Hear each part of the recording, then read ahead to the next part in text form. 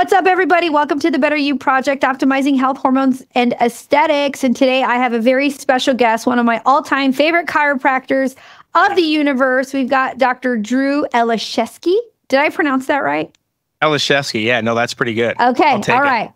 So, Dr. Drew is a board certified chiropractor, grad- graduated from Palmer Chiropractic in 2017. He has a passion for sports medicine with special interest in soft tissue rehab and has worked with many professionals, collegiate athletes throughout his career. He has studied functional medicine, integrative nutrition since graduating chiropractic school, with his biggest passions for blood sugar regulation, weight loss, fatty liver disease, and probably all the comorbidities that go along with that. Together, he and his wife, who is fantastic, she has also been a guest on our podcast. Her name is Traci E, is what we call her at, at our practice when we refer to Traci. Traci E. Um, she and her husband operate Forum Health in Madison, Wisconsin, as well as their own clinic, True Health. They have also developed their own supplement company that is focused on clean performance line for athletes called Patriot Performance Supplement Co. I will tag all those things in the social. Uh, they have their own podcast called The Vitality Blueprint with episodes launching in the next few weeks. So, you ready? I am.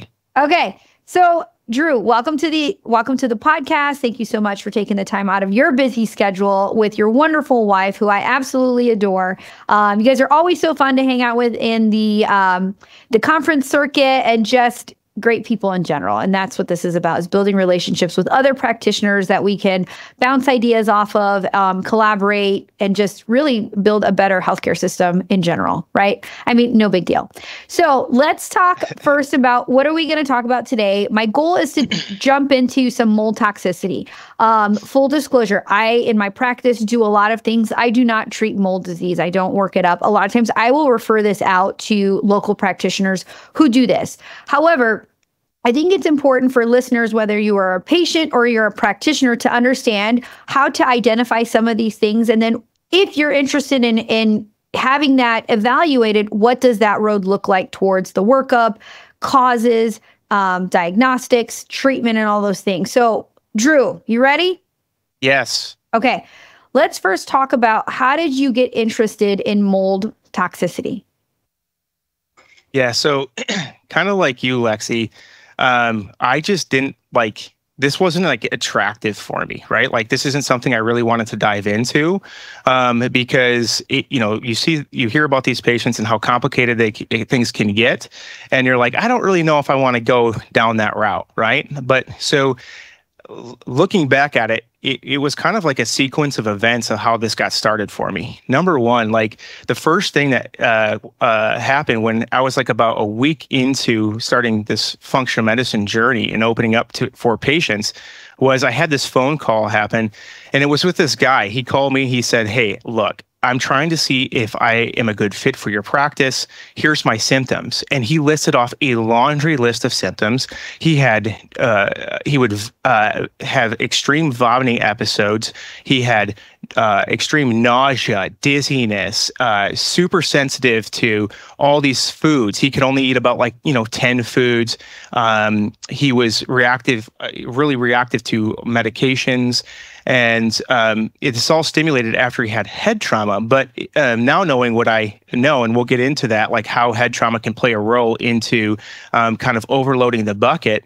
Um, I was just like starting to think, and I was like, "Hey, look, at this time, um, I was just really honest with this guy, and I said, I don't know if I can help you.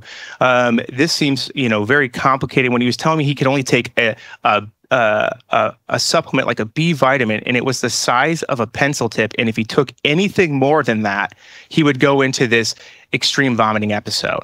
And so I wasn't willing to take it on at that time, and I didn't really think much about it after that. Fast forward two months later, I get a similar phone call from a different person, uh, and this time it was a lady, and it's very similar in the symptomatology. Um, and again, uh, talking to this patient, I was like, hey, look, here's another place that we can go. Then a couple months later, I get this patient come into my office and she was looking for hormones. Um, she was referred to me from another chiropractor. We did a lot of Dutch testing, stool testing, blood blood chemistry evaluation at this time, and helping a lot of people um, with those things. Um, but this patient comes into me and she's like, um, she's a mother and she um, started having all these symptoms i believe after moving into a new house and um, she had extreme fatigue nausea um, she had a lot of digestive symptoms and i said you know we can do this dutch test for sure. I don't think it's going to be uh, going to give us um, it, uh, the the information that we need to resolve your symptoms. And um, now knowing as a practitioner, first of all, our job is to give the patients what they they want because we got to keep them in the door and start working through that. Maybe we don't give them what they need right away, but maybe we give them what they want. Okay. It's very, very important that I learned how to understand and navigate that situation. Um, and you know, after that appointment, needless to say, that patient didn't come back because I wasn't, I told her literally, I don't think hormones are going to be the resolution when I should have said, let's start with hormones and then we can work through this process and figuring out other things.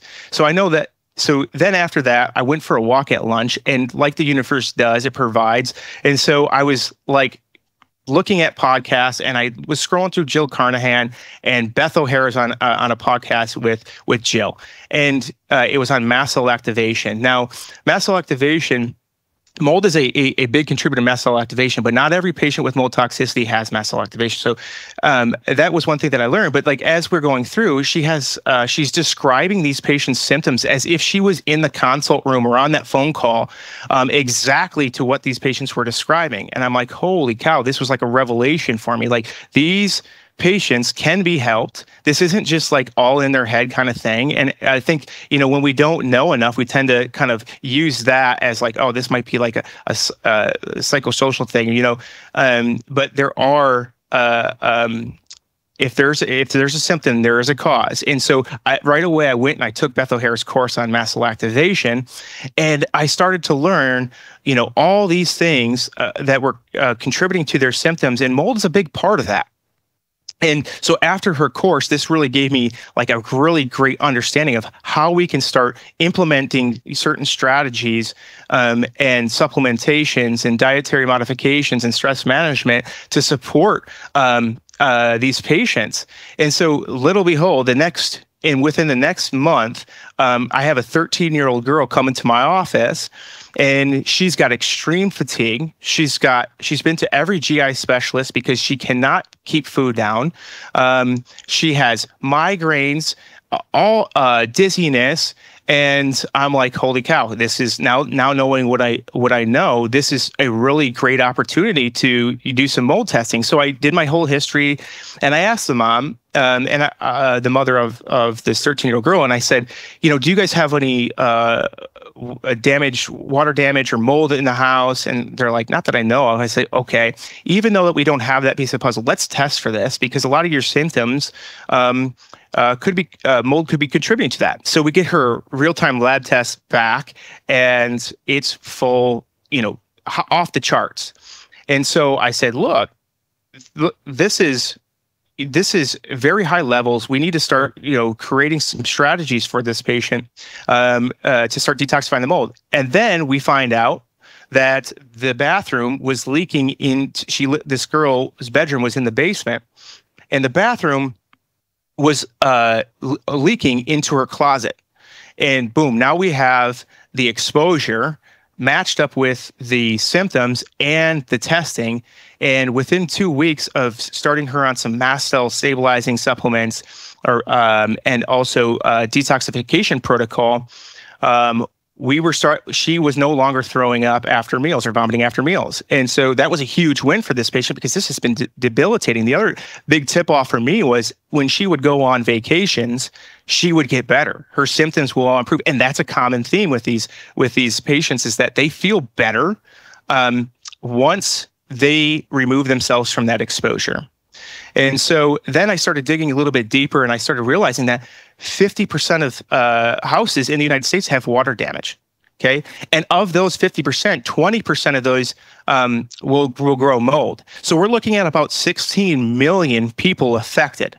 And then you start looking at like genetic predispositions to mold, and you're like, wow, okay, so this is now telling me that there, even though that you have two people in the house, um, let's just say a couple live in the house, one may be affected and the other may not. And if you don't have that answer when someone comes to tell me comes to see you and you're like, I think it's mold, and they're like, well, we both live in the same house. Uh, well, here's the reason why, and you can measure that like on a on a LabCorp, looking at some of the HLA haplotypes, and it gets super complicated. But here's a little trick: there's an HLA haplotype calculator that you can use. Otherwise, it's like looking at you know you might as well be in in Chinese, right? Because like you're looking at this, I have no idea like how to interpret that. And so you find these calculators, and that's one of the things that is um, very, very helpful at understanding why certain people are affected. And within that calculator, it will tell you like this haplotype is um, makes these patients more susceptible to mold or more, more susceptible to Lyme. And so it's one of like Ritchie Shoemaker's uh, um, kind of findings, and it's been super, super helpful um, with that. So then when when I understood the prevalence of that, I was like, okay, 60 about 60 million people can be affected from that. This is something that we need to continue to kind of pursue and make sure that, you know, we are uh, giving ourselves the tools to uh, and be equipped to that. Um, okay, hold like, on. Hold on. Yeah. One second. You just I mean I have like making notes. Let's unpack some of those things. Sure. So it sounds like the first kind of couple cases that you saw, the presenting symptoms appear to be like GI stuff. Is that correct? They can be. They can be. Okay. But I think uh, one of the big things too is this this relentless fatigue. Like in a 13 year old girl that's having relenting fatigue, like that's suspicious. Okay. Right? You, you got to cover your bases with anemia and all that other stuff, right? But like, sure, it's suspicious. So if if I'm a patient and I'm coming to an integrative practice and they're doing their blood work and they're looking at iron and ferritin and ruling out thyroid and all those mm-hmm. things. Uh, like I said, it sounded like those first couple cases that you got uh, presented like in the GI world. So I'm just thinking if I'm a functional medicine practitioner, um, where would I start, right?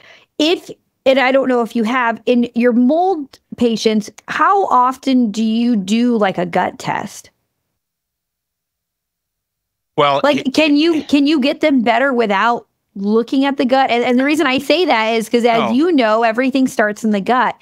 And so it leads to my next question is is if I'm looking at a GI map or whatever gut test you're doing, are there key indicators that I would be looking for? For example, like I do a lot with the gut test. If I think if I see Morganella, I'm like, oh, you might have some mold. if I look at secretory IgA and it's really really high, I'm like, oh shit, your your immune system is on high alert. So I, that's my question is is you know yeah. you knowing these mold patients, like what does that avatar on like a gut test look like? So I would say you know a, a lot. So well, here here's the funny thing uh, in in some regards, and we might disagree on this, but um, and that's okay. Like I'm super open for discussion. Um, what I'm finding um, with gut tests, in in I always any test that I order, I want to make sure that I'm getting information that I can then utilize therapeutically, and I've found um, that I don't necessarily need that gut test to tell me what to do and that my protocols don't change a whole lot unless there's some sort of weird infection. Okay? okay. So I don't I've I've gotten away from that a little bit. However, certain things like high beta glucuronidase, right? Calcium D-glucarate is a supplement that we can use that helps with phase two detoxification and hits a lot of mycotoxins uh, with with that detoxification support. So that's super helpful. If they have a high secretory IgA um, or high inflammatory markers, there could be a component to mold that. And the reason I make that correlation is that I've seen a young patient that had a ton of mold and developed Crohn's. And I I got to that patient a little bit too late. They came see me as last resort. Um, not to say now that now what I know about Crohn's and the GI and how we can affect that with peptides and and LDN and and pro resolving mediators, that would have been a different story. But this was early on in my career, right? And so if I'm looking at a mold test or a, a GI test, I might look at inflammatory markers. Beta glucuronidase would probably be the the the two markers that I would I would look at with that. Okay. No, that's great. And so then kind of going back to you said that relentless fatigue, the the GI stuff, this brain fog, is, is there like a variation of like and I don't know this, but like, is there like you have chronic mold and this is what it looks like? Or I'm having, again, I don't know, a mold flare up and then that's what it looks like. Can you differentiate the two of like what that would look like? like um get, get, re ask that question. Uh, okay, so, let me give you an example. So I have a patient that I see and I do her hormones, she does ozone with me, she does all these things. Mm-hmm. mm-hmm she reaches out and she feels amazing. And she had been seen by a previous provider for mold management, had done Got ozone it. and some other things. Okay, cool. She's hormones optimized, all those things. She reaches out to me and she says, I've been cleaning my mom's house because she passed away, whatever. My mold is flaring up. And I'm like, okay, like I, I does it yeah. need some ozone? Like, well, how does like what does that look like for me? So I actually I was like, okay, well, I know I know what I know about, especially with ozone and things like that. So I ended for up sure. bringing her in for a couple rounds of ozone.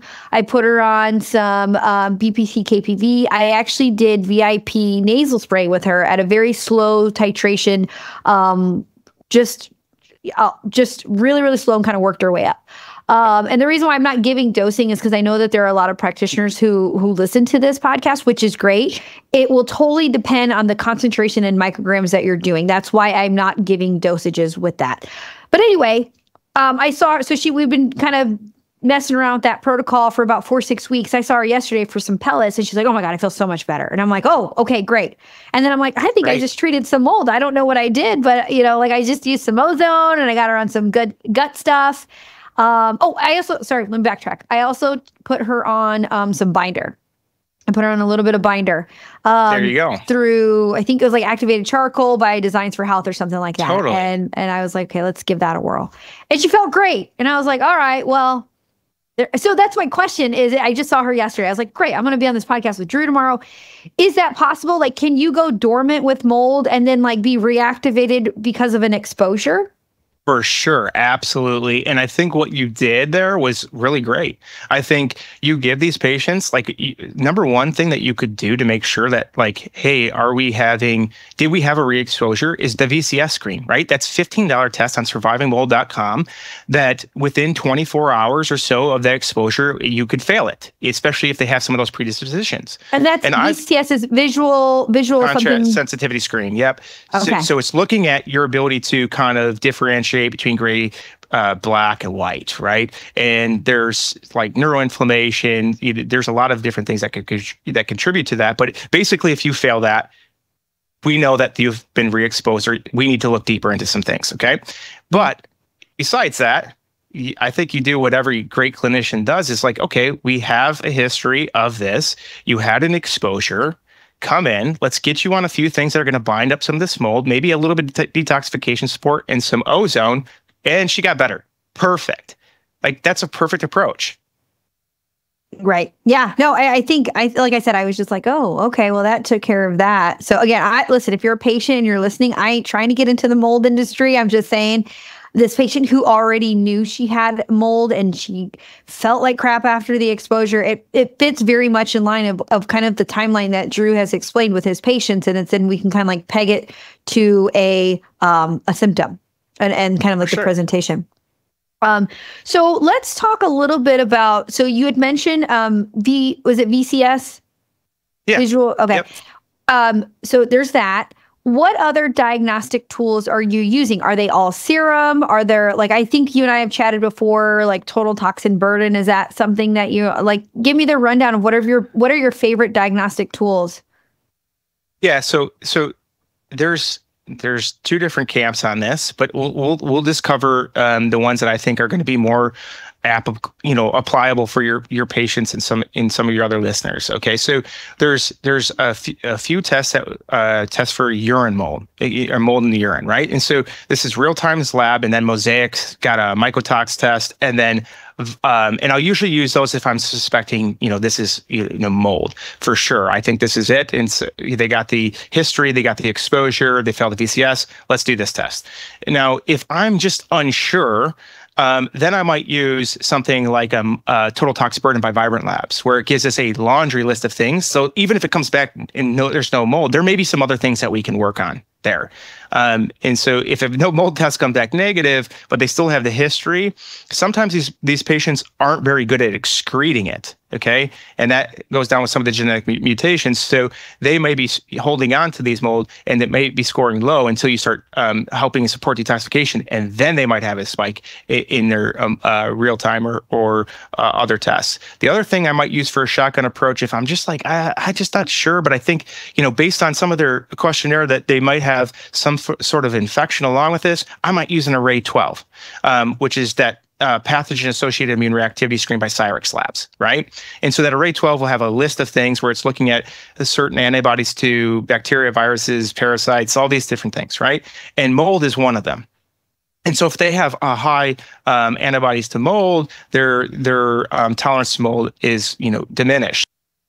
So then I can say, okay, well, let's start with you know some of the approaches that you um, mentioned, like putting them on some detoxification support, putting them on a binder, um, making sure that they're having good bowel movements, all the things that you do, right?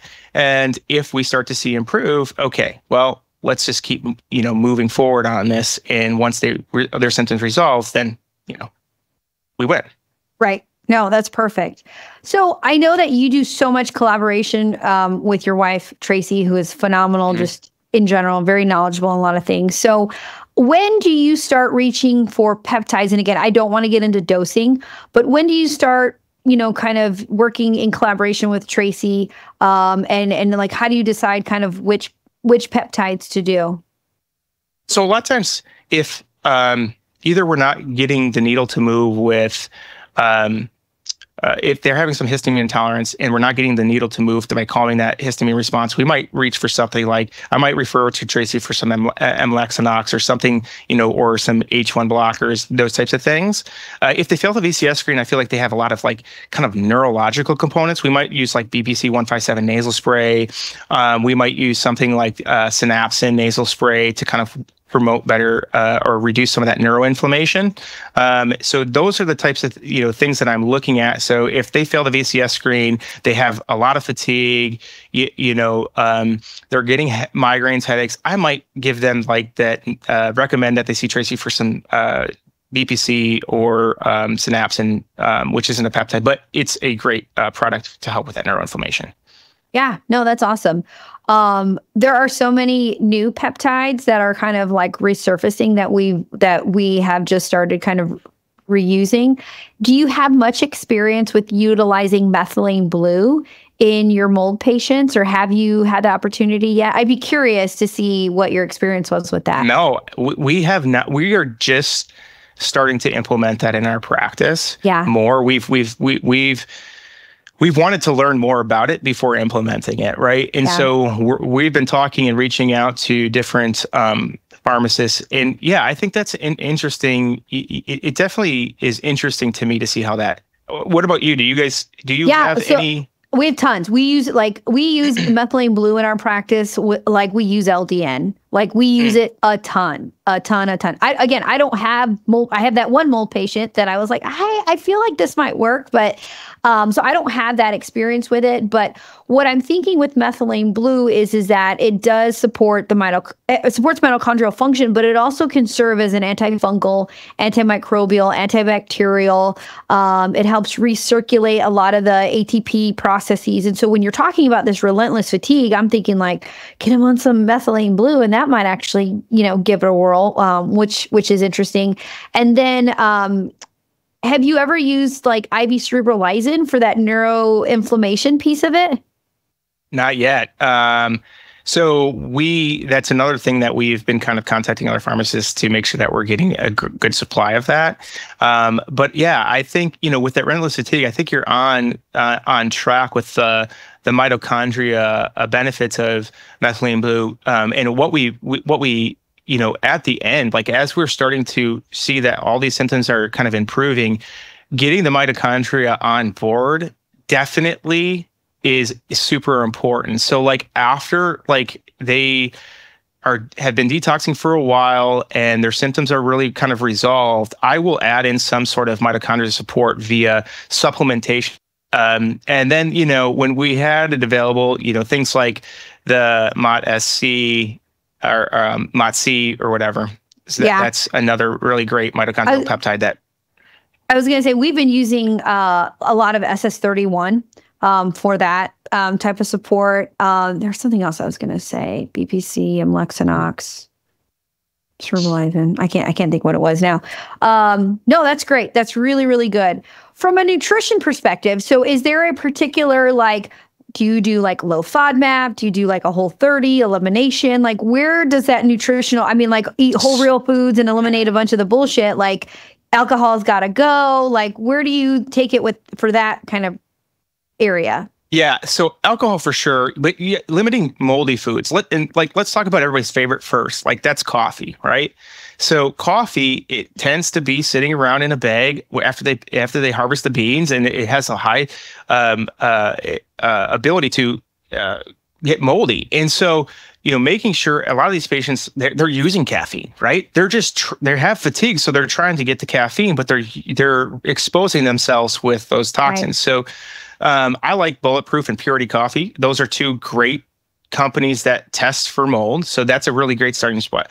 Um, then just kind of removing some of those foods that have a higher, you know, uh, potential for mold, like the, the fun stuff like cheese, milk, grains, alcohol, you know, doing that. But it all depends on like how sensitive they are. So if they only have 10 foods, I can't restrict them anymore on that. Right. And I don't want to because we need to get the nutrient support. So it just all Mhm. depends, you know, food wise, where we're going to go with that.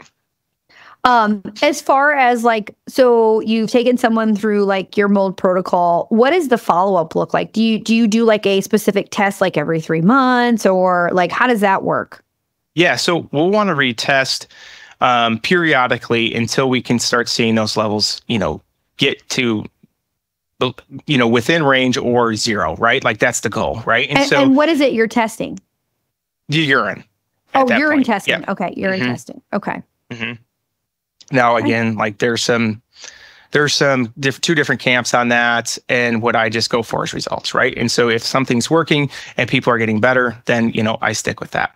Yeah. Um, yeah, for sure. Okay. Um, and then, as far as if there are practitioners who are interested in either learning more or kind of getting some more um, kind of resources, is there a particular place that you would recommend that you have seen to be the best at like education? Yeah, I really like J- Jill Carnahan's website. She has a great blog on there. Mast Cell 360 has a great blog, and then Surviving Mold, like that's Ritchie Shoemaker. Yeah, yeah, he's the Yeah, the he's Shoemaker goat. pro- protocol and all those things. Okay. Well, that's awesome. That's really, really good. I'm just looking at all my my questions, and I think I got most of them kind of covered here. Is there anything else, Drew, that you feel like we didn't touch on? Yeah, I think there's a huge part. Um, one thing that we that we have to go with uh, mentioning is the the nervous system support. So in patients, so a lot of times what we'll see is anxiety, panic attacks, those types of things, which I see in a lot of my old patients. Um, and to calm the the limbic system and the vagal nerve is super super crucial. And this could be done with any patient. So limbic system, we're going to be thinking things like the Gupta program or vital side. So these patients that are having these like panic attacks out of nowhere. And the weird thing is recently, um, I've had uh, multiple patients that have had mold exposures that have a fear of driving on, on the highway. It's not just one, it's multiple. So um, what we'll typically do is we'll start working limbic system through one of those programs, vital side or Gupta program.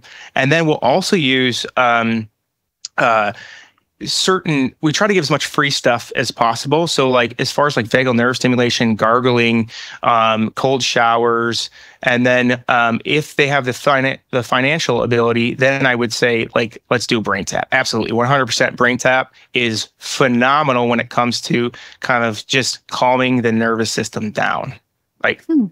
that's that's crucial and it's a huge part um, that's missing. And then the other thing uh, that i would say is um as far as like our bucket that we talk about the thing a lot of thing that patients um, need to be aware of if they have a traumatic event like a brain injury we all have these buckets of like toxic load infection load and then stress right and one of the biggest things is kind of managing that and looking for that. And so it's not the concussion that made them have like kind of this inflammatory response like that. It was the uh, the bucket that was full and the, to begin with, and it was the concussion that put him over.